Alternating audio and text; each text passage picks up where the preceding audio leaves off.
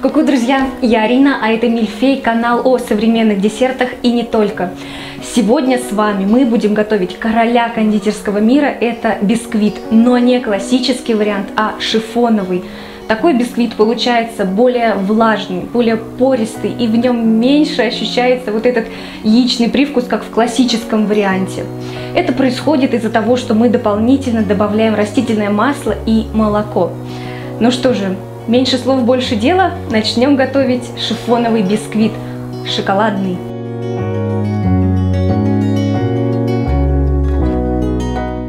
Все необходимые ингредиенты и их количество будут указаны в описании. Для начала нам необходимо взбить яйца.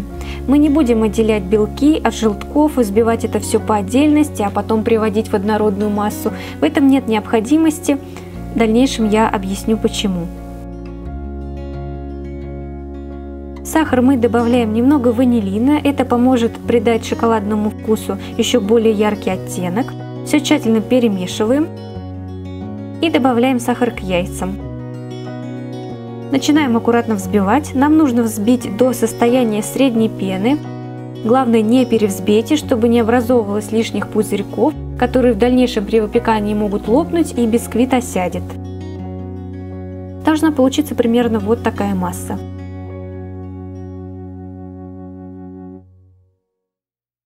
Затем мы добавляем растительное масло и буквально несколькими движениями соединяем вместе с яйцами, просто доводя до однородности.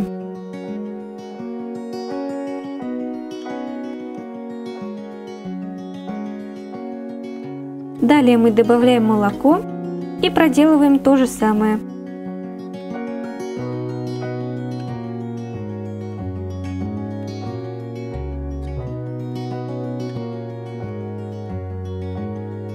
Разрыхлитель мы добавляем в муку, также мы добавляем какао и все тщательно перемешиваем. Должен получиться равномерный и однородный цвет.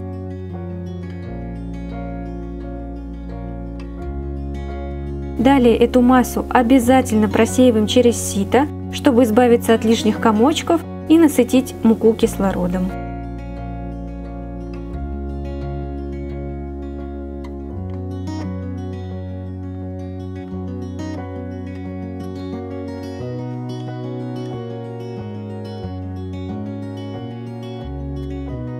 Как видно, в муке откуда-то оказался сахар, он нам не нужен, и мы его просто убираем. Далее вот такими движениями аккуратно вмешиваем муку, чтобы она не разлеталась по кухне. И аккуратно перемешиваем. Нам не нужно долго взбивать массу, как только она станет однородной, мы выключаем миксер.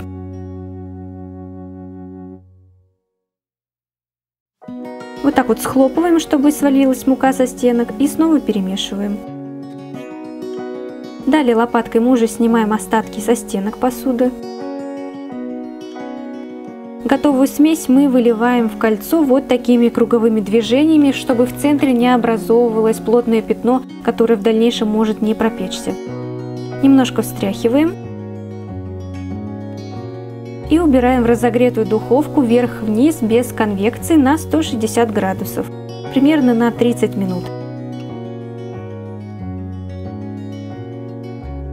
Как показала практика, времени вообще не имеет значения. Разделяете вы белки, разделяете вы желтки. Это не играет никакого значения. Значение играет температура духовки. Для своей духовки я выбираю 160 градусов, потому что это оптимальная температура, чтобы бисквит не перегревался и равномерно поднимался. Может быть небольшая горка образоваться, но это не будет целый столб.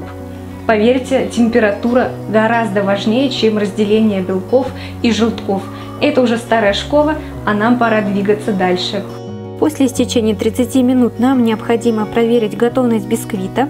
Деревянной шпажкой мы протыкаем в самый центр. Я вижу, что у меня на конце шпажки еще остаются крошки, и я убираю бисквит буквально на 10 минут без нагрева. Далее я его достаю. Даю немного остыть при комнатной температуре, буквально минут 10.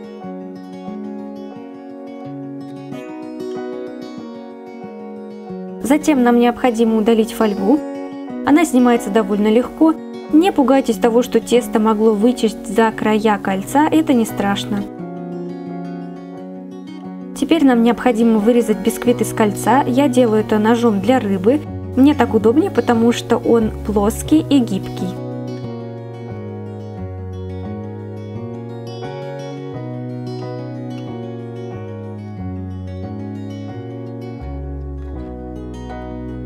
Бисквит легко выходит из формы.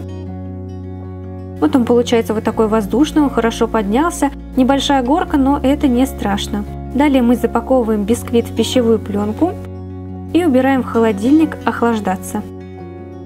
В холодильнике бисквиту необходимо охладиться не менее 8 часов. Это поможет влаге внутри бисквита равномерно распределиться и при дальнейшей нарезке он не будет крошиться. Ну и плюс дополнительный бонус, он становится гораздо вкуснее. Я не знаю, как это работает, но это действительно так. После того, как бисквит охладился, мы достаем его и используем по назначению. Я сделаю разрез, чтобы показать вам, что получилось. Для начала я срежу шапочку.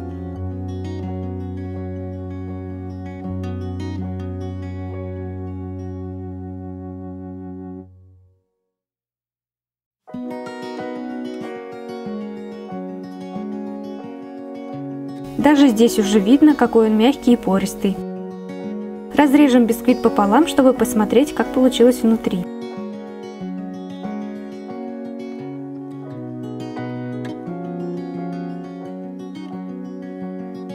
Бисквит получился очень мягкий и упругий. Главное, что он влажный и не требует дополнительной пропитки.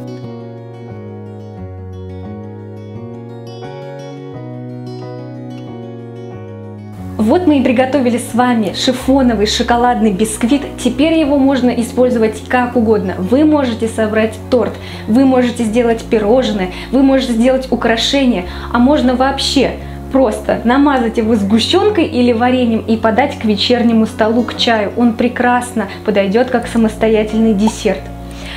Ну что же, я с вами не прощаюсь. Как обычно, не бойтесь экспериментировать на кухне. До новых встреч, друзья!